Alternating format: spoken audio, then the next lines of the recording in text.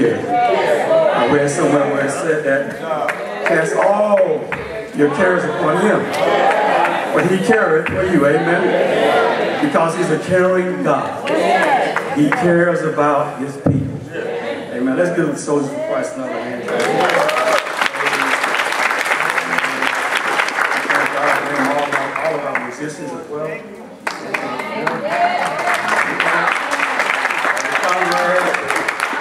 Sister Althea. Thank God for them as well. Amen. And thank God for all of you. Amen. For being here because you could have been anywhere today, but we thank God that you're here now. Amen. Giving all honor and praise to our Lord and Savior Jesus the Christ. We thank God for Pastor Ellis, the under shepherd of this great branch of Zion. Let's give him a hand clap of praise. Amen. Also, we thank God for the ministerial staff, here, all of the associate ministers. Amen. For the deacons, the deaconess, trustees. Amen. AV, ushers. Amen. Kids church. Amen. Get in Amen. We just thank God for being here. Uh, also thank God for my lovely wife. Amen. If the Lord says the same on Tuesday, June 12th, we will celebrate 31 years of marriage. And I must say, she is fine as the first time I ever saw her.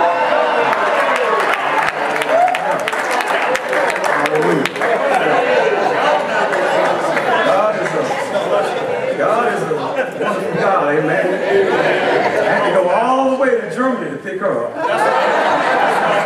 And she's from, she's from Virginia, and I'm from Alabama. God is a mighty God, amen. Whatever it takes, whatever it takes, amen. Amen. There's a word from the Lord. We're not going to keep it long, amen. But there is a word from the Lord. Just pray with me just for a moment. God, Heavenly Father, we thank you for this day, God. We, we give you all the honor, praise, and glory for all the great things that you have done, that you are doing in our lives, that you will do in our lives, God. We thank you for all under the sound of my voice, God. It's preaching time. And you said, God, by the foolishness of preaching shall they be saved. And the word, God, is what saves your people. We thank you, Lord God, for our visitors who are visiting for the very first time. And now, Lord, let the words of my mouth and the meditation of my heart all be acceptable in thy sight. O Lord, my strength and my redeemer. And all of God's people said, Amen, amen, amen, and amen. For those who have your Bibles, please stand just for a moment and turn to the 26th uh, edition of Psalms. Psalms 26. When you get there, say amen. Psalms 26. Everybody there? Now, I'll be reading from the King James Version of the Bible, so you might have a different one out there, but it's all the Word of God. Amen? Amen. Psalm 26. This is 26. This is a psalm of David. Judge me, O Lord, for I have walked in my integrity. I have also trust I trusted also in the Lord. Therefore I shall not slide. Verse 2. Examine me, O Lord, and prove me. Try me. Try my reins and my heart. For thy loving kindness is before mine eyes, and I have walked in thy truth. I have not sat with vain persons, neither will I go in dissemblance. dissemblance. I have I have hated the congregation of evildoers, and I will sit with the wicked. I will not, I will not sit with the wicked. Verse 6. I will wash mine hands in innocency, so I will compass thine altar, O Lord. And finally, verse 7. That I may publish with the with the voice of thanksgiving and tell and tell of all and tell of all thy wonderful, wondrous works. Amen? Amen. You may be seated in the presence of the Lord. Amen. Amen. I want to read again verses 2, verses 1 and 2, because that's primarily where the word will come from today. The message will focus on verses 1 and 2. But as, after reading verses 1 and 2, you go down to verse 7, you'll see why he, he says that I will publish with the voice of thanksgiving and tell of my wondrous work. Verse 1 Judge me, O Lord, for I have walked in mine integrity. I have, I have also trusted in the Lord, therefore I shall not slide. Examine me. Examine me, O Lord, and prove me. Try my reins and my heart. Amen. Amen. I want to talk very briefly this morning from the subject, focusing on verses 1 and 2. A self examination. Beware of the I syndrome. A self examination. Beware of the I, the letter I syndrome. Amen. I praise God for Sister Rita Terry because this morning she gave her testimony this morning at 8 as well as at 11. And she said something profound. Everything she said was profound, but she said one thing, I just honed in on it. She said that when, when she, she put a number down on her promise form, and she said, How am I? How in the world am I going to do this? And she said, That's where I got it wrong because God didn't want her to do it. God wanted to do it for her. Amen. Amen. So we have to beware of the I syndrome. Amen. It'll jump up on you sometime before you know it. Amen. Someone once said, I'm not sure it was a player or a coach, to Michael Jordan, look, man, there's no I in team. And Michael Jordan, being the quick wit that he is, responded, he said, yeah, but there's a me in team. Some of y'all get that on the way. It's a deep. Amen. Amen. In other words, Jordan was saying, try to have a team without me. Amen. One of the most difficult things in the world for anyone to do is do a solemn self-examination on him, him or herself. Amen. Self-examination is defined as a reflective examination. Amen. A reflective examination as of one's belief and motives. It is synonymous with the word introspective. Introspective, which means a reflection looking inward, not outward. I'm not talking about how much I weigh and how much my hair is curly and, and, and I'm 6'3 and 185 pounds of um, 36, 24, 36. I'm not talking about the outside. I'm talking about the inside. A solemn examination, reflective look inward, and examination of one's thoughts and feelings. Why do I believe what I believe? Why do I do the things I do? Someone once said that, that, that in every person, in every individual, there, there are three persons or individuals. One is the person others think you are. Second one is the person that you think you are. And finally, the person that you really are. Amen, somebody. It requires a an examination of oneself. What is your identity? What's your name? How many forms of Bob Smith are there? He's one way at home, he's one way at church, he's one way in Alabama, he's another way in Mississippi.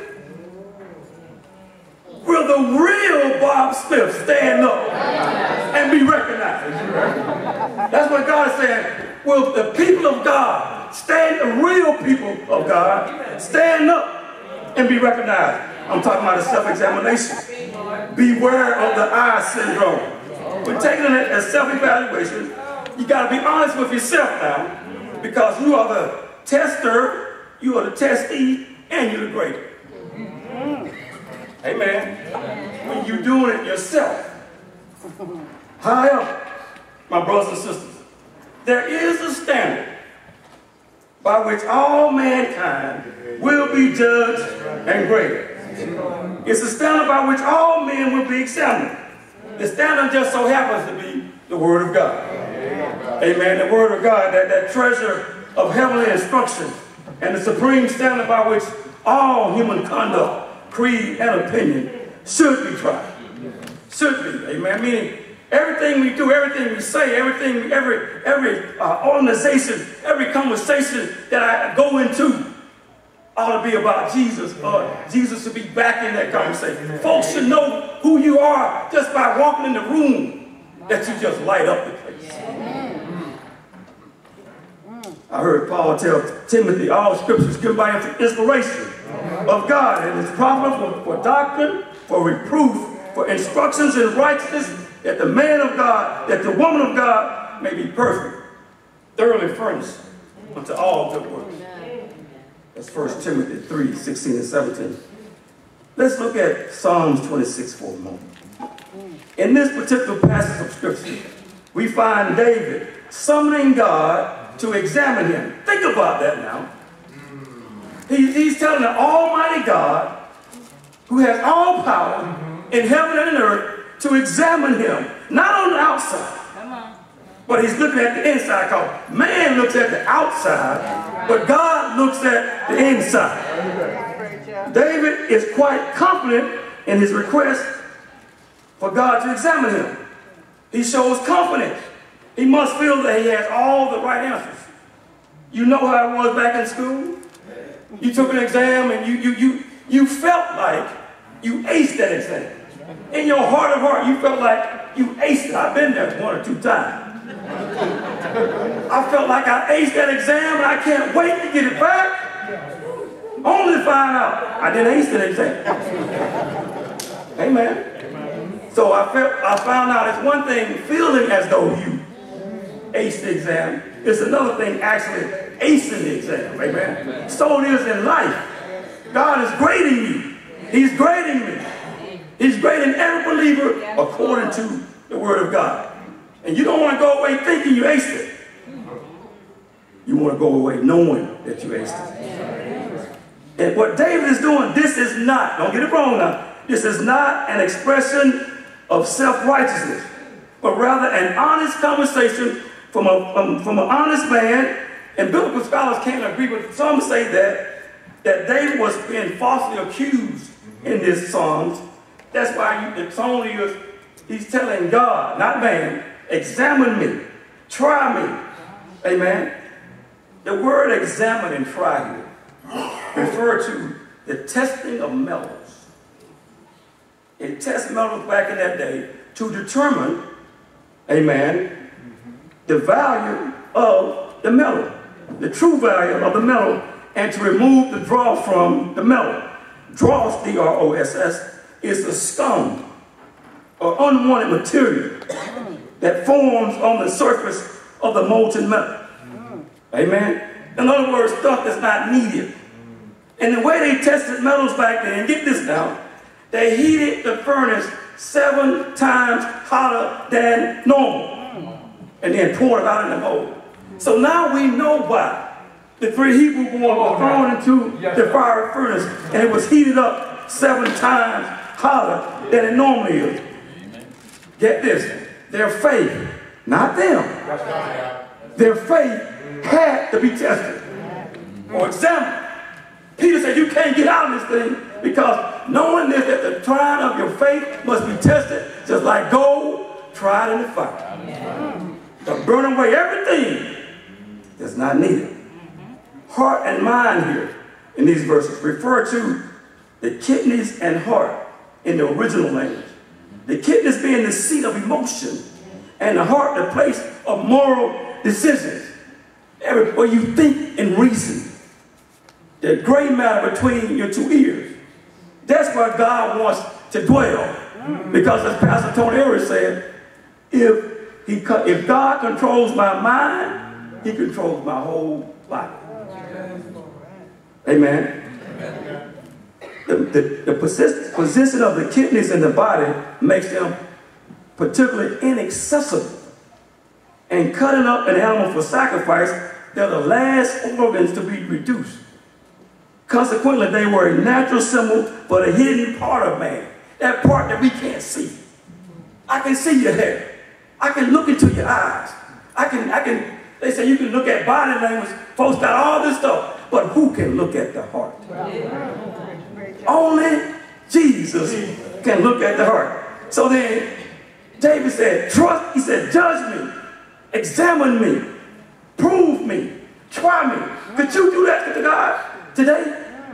God, test me, prove me, try me. Amen. You know, back in the day, you walk up on somebody, you me, okay, try me. try if you want. and, and you better not be bluffing. Because some folks will call your bluff, amen. So if you, if you tell Jesus to try me, watch out. Amen. Amen. Psalms 139, 23. Search me, O God, and know my heart. Try me and know my thoughts. David was motivated and controlled by God's love and God's truth. The Lord was faithful to his covenant, and David was faithful unto the Lord. My brothers and sisters, sometimes we don't hold up our end of the deal. We want God to hold up his end of the deal, but we won't hold up our end of the deal. Amen? But it doesn't work like that. Don't get me wrong, David wasn't perfect. He occasionally fell like we all do. Amen? The Bible says, I didn't say, Proverbs 24, 16. A just man falleth seven times. Seven times. But he rises up again. But the wicked shall fall into mischief. Seven times. A just man. Philippians 4 and 7. And the peace of God, which passes all understanding, shall do what? Keep your hearts and mind through Christ Jesus. Donovan Perkins said, we fall down, but we get back up again. How many times are you willing to get back up again after you fall down? Because this thing called life is going to knock you down.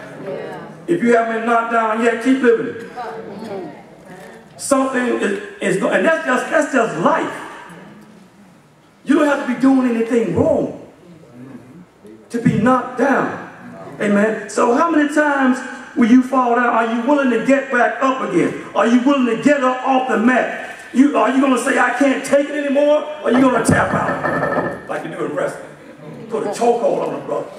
Or beat him down. Kick him so many times. Hit him so many times that I tap out. That means I'm done. I, I can't take no more of this. In our lives, these trials and tribulations that come unannounced, unnoticed, amen, that come into our lives, knock you down one time, knock you down two times, knock you down three times, four times, five, six, seven. But I got to get back up again. I'm going to get back up again. I'm going to, I'm going to fight. I'm going to fight till I can't fight no more, brother lady. I'm going to fight even if the fat lady begins to sing. I'm going to fight. And if she get in my way, I'll fight her too. Amen, somebody. David wasn't, wasn't, wasn't, what he was confident. He wasn't cocky.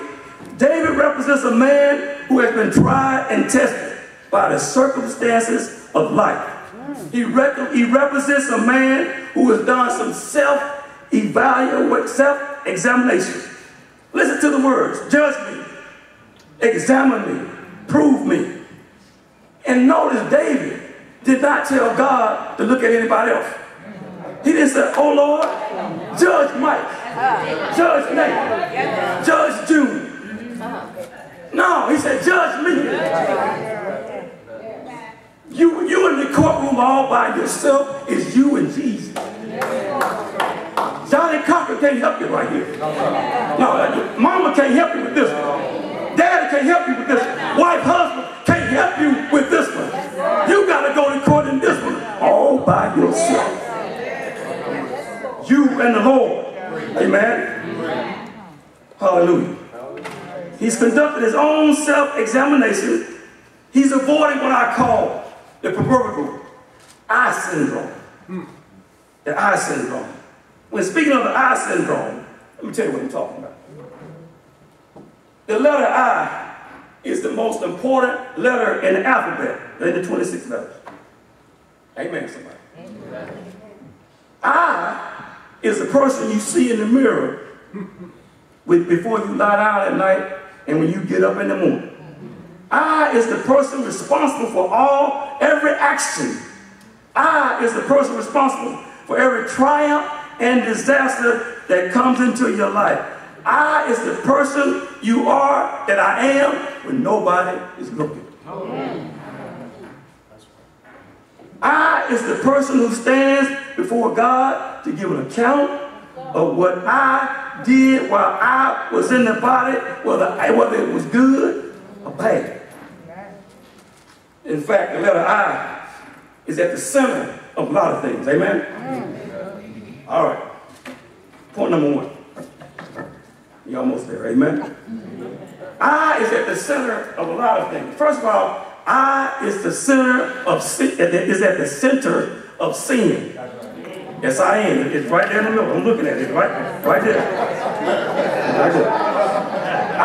Is in the center of sin. Sin is a missing of the mark of God. Sin is a, is a deprived state of human nature in which itself is estranged from God, disconnected from God. Amen. A missing of the mark a transgression of God's law, knowingly violated, knowingly violating God's law. We do it. We do it all the time.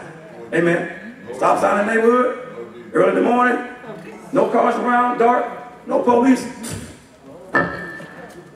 I'm not, I might tap the brakes.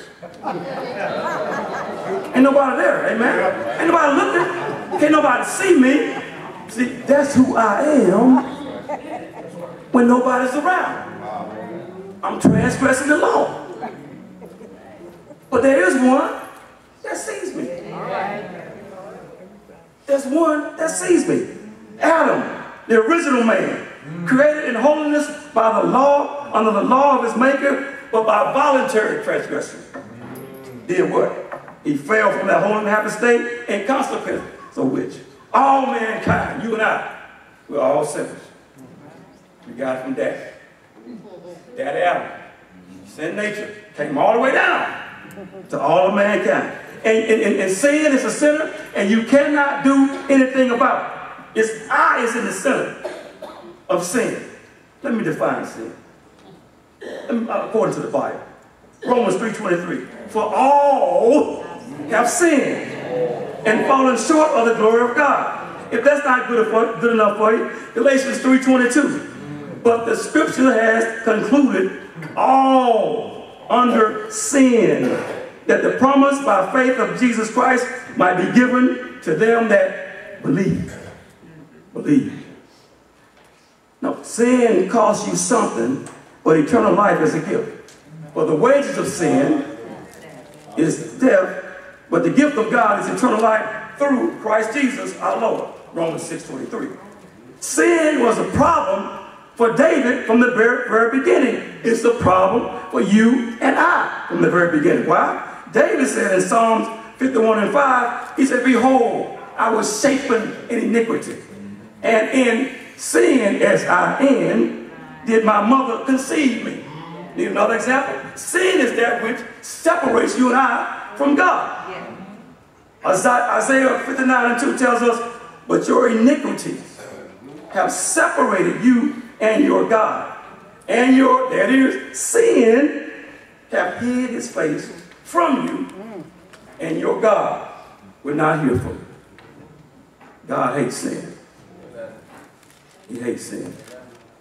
But the word says, if I confess my sins, he's faithful, he's just to forgive me of my sins and cleanse me from all unrighteousness.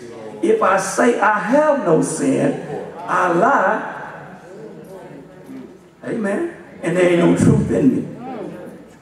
But sin is forgivable. Ephesians 1 and 7. In whom, Jesus, we have redemption through his blood, the forgiveness of sin, according to the riches of his grace. That's Ephesians 1 and 7. Point number two. Not only is God, not only I is the center of sin, I is the center of pride. It is right there. P-R-I-D. Hope you're getting this now. Talking about I. Self-examination. Beware of the I syndrome. Pride is defined as the, the quality or state of being proud. Pride, pride destroys humility and builds a wall between you and me and God. But pride is the last thing to depart, before, depart you before you receive some help. Pride doesn't go away easily. It holds on for dear life. God doesn't like pride. He prefers humility. The Bible says in Proverbs 16 and 18, pride goeth before destruction. Better it is to be of a humble spirit with the lowly than to divide the spoil with the proud. Pharaoh's pride, and Pastor preached on this this morning, I thought it was very interesting. Pharaoh's pride destroyed him. Why? Because he said, Who is the Lord that I should obey him? Let Israel go. I know not the Lord, neither will I let Israel go. Pride. Pride almost cost Naaman his life. Naaman, the captain of the host of the, of the king of Syria, in 2 Kings 5 and 1. Naaman was a, a big dog.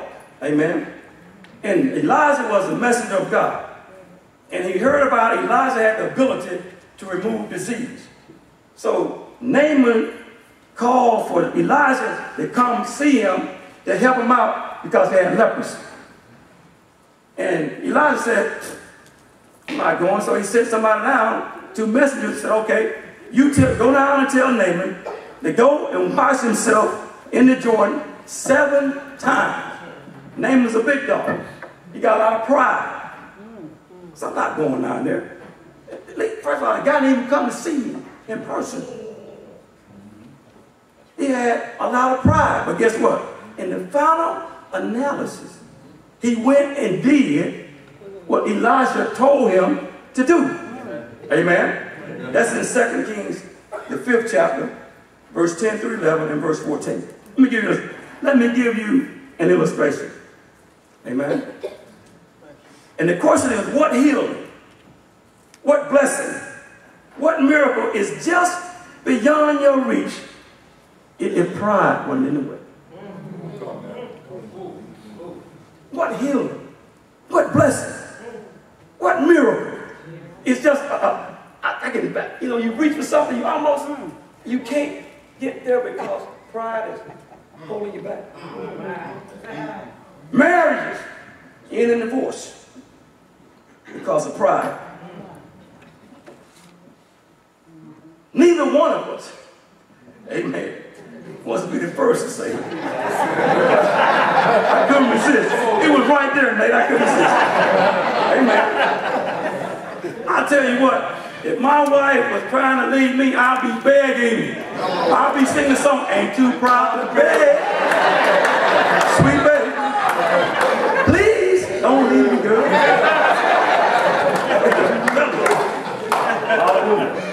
I'll. Baby, come back. You can blame it all on me. I was wrong, and I just can't live without Ain't you proud to beg from that? Amen. Amen. Hallelujah. Here's the example. Amen. The question is, what, what, what if you had leprosy? You had a sickness or disease, and you call Pastor Ellis. The Pastor Ellis come, come and heal me, come and help me. Pastor Ellis said, no, I ain't going. Uh, hey, Deacon Foster, you and Deacon Foster, y'all come over there and help this, this, this saint. Now you, you mad because Pastor didn't come himself. But he sent the messenger. So Pastor, Pastor said, go and wash yourself in the Occoquan River seven times. And you'll be clean. Matter of fact, your skin will be like a baby, is what the word says. But, but you don't want, man, I ain't going out. First of all, why didn't Pastor come himself? Oh, I'm not worthy enough? I don't have enough juice in the church for my pastor to come and check about me.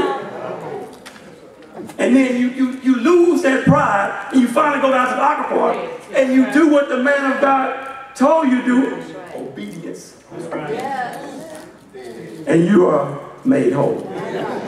Now that I said all to say that God recognizes and rewards obedience.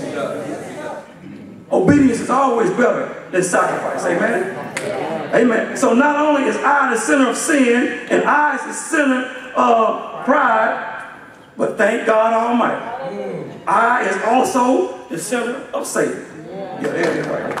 S-A-V-I-O. Right in the center. The Savior.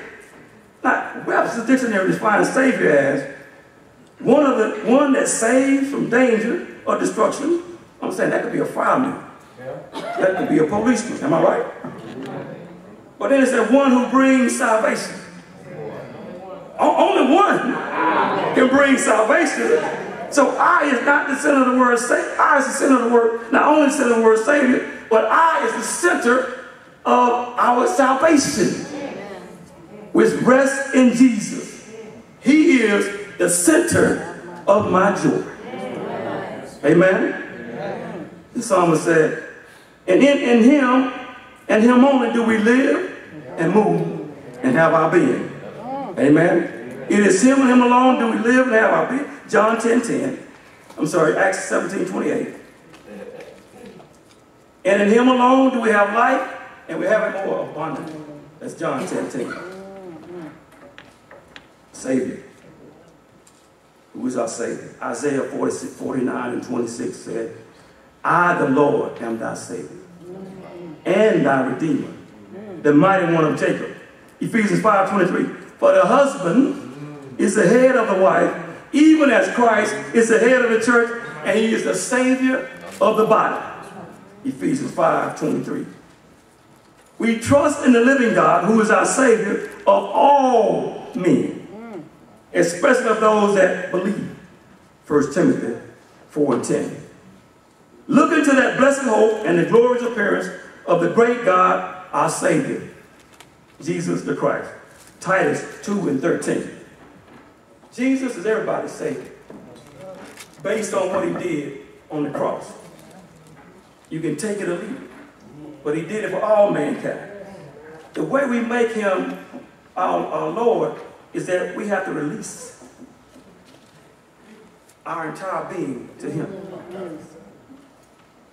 we must look and have a solemn self-examination of one's entire being. Amen. And we want to make sure that Jesus doesn't, doesn't pass us by. Amen. Amen. There, there's an old spiritual that goes what? Pass me not, O gentle Savior. Hear my humble cry. While on others thou art calling, please don't pass me by. Amen. There you have it, my brothers and sisters. The letter I is the center of sin. It is also the center of pride. But thanks be to God, it is the center of Satan. The letter I is also the center of the word child, as in children of God. Amen? And in the word Christian, there are two eyes. I believe one of the eyes is for you, and the other one is for me, because we are all part of this great family. Amen? I believe that, that, that we are part of God's grace and mercy. That, and David recognized he was free as a result of God's grace and mercy. He was aware of the I syndrome of his past. See, I know what I did in the past. Why? I was there. So I don't need you to tell me. Because I know. Because I was there. Amen. But it's not about me. It's all about God. Amen. My brothers and sisters, if you go through life thinking only about yourself, you are a victim of the I syndrome. I did this. I got a promotion. I got a car. I got a house. When we to be saying, I thank God that I got a promotion. I thank God. I thank God for all that he has given me and blessed me with. Amen. And the word, the last word I'll leave you with is the word Christ. Why this word? The I is not the center. No, it's not. But there's an I in Christ, and there's a Christ in me. He lives because he lives in me. Amen. Amen. Father, my brothers and sisters. Psalms 26 and 1. That word judge, the first word in verse, in verse number 1. J-U-D is the word vindicate. V-I-N-D-I-C-A-T-E. And guess what? The I is in the center. Vindicate. Vindicate means free from charge or wrongdoing.